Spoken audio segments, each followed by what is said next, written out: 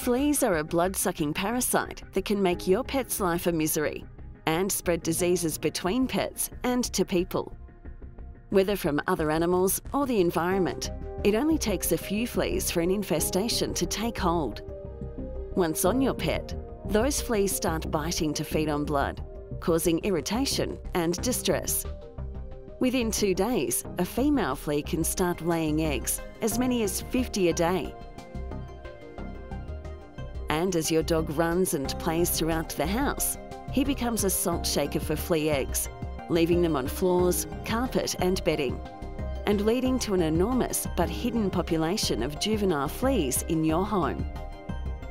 Within just two weeks, these eggs can develop into a new generation of adult fleas to reinfest your pet, which is why continuous flea protection is so important.